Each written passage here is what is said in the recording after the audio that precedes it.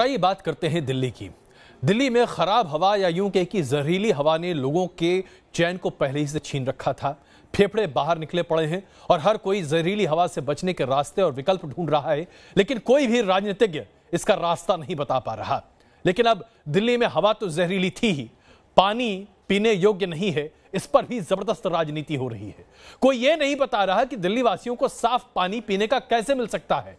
लेकिन एक दूसरे पर छीटाकशी कर तमाम राजनेता ये तो साबित कर गए कि उन्हें आम लोगों की रत्ती भर परवाह नहीं है।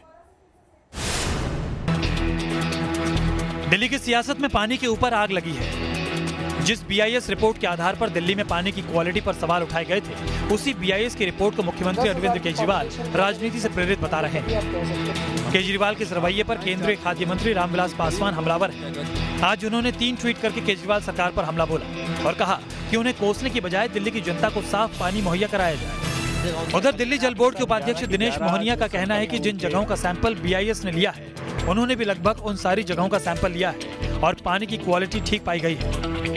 क्या रिज़ल्ट आया जिन 11 जगहों से सैंपल लिया? मैंने आपके साथ 11 के 11 जो सैंपल हैं उनके डिटेल्स आपके साथ शेयर कर दिए और हर एक पैरामीटर पे दिल्ली का पानी पीने योग्य पाया गया है। यानी पानी पर दिल्ली सरकार और केंद्र सरकार दोनों में से कोई भी पीछे हटने को तैयार नहीं और ना ही एक दूसरे को घेरने से कोई बाज आ रहा है। संसद के बाहर ही नहीं संसद के अंदर भी जल संग्राम छड़ा हुआ है। बीजेपी सांसद विजय गोयल को बोलने से रोकने पर आम आदमी पार्टी के सांसद संजय सिंह की सभापति वेंकैया नायडू ने क्लास लगा लिया